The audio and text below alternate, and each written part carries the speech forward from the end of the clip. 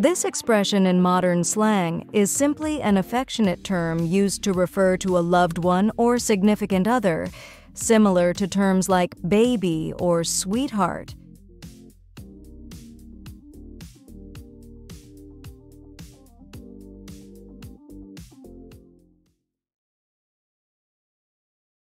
Bae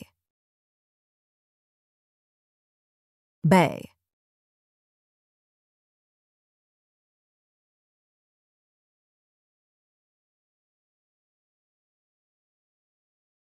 Bae Hailey Bieber posted a cute selfie with her bae, Justin, on Instagram.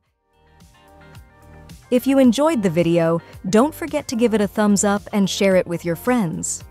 Go to our website, petrayvonneenglish.com, for plenty of enjoyable exercises covering different vocabulary and grammar topics.